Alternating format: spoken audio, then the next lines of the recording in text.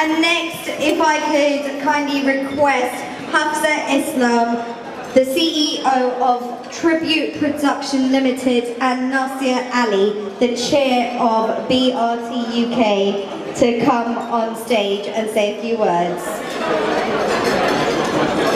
Sorry, Alam Sheikh, who is the MD of BRT UK, to come on stage and give the next award. And the next award is for the takeaway of the year, Essex. Thank you so much. We have Hafsa on stage. Thank you very much. Let's get Alamon Sheikh too. On stage, sorry, did I say Alamon Sheikh? Alam on stage.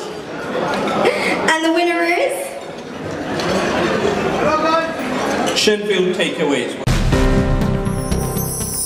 Shenfield Takeaway. Takeaway of the Year Essex 2. Running over 25 years of history with traditional food.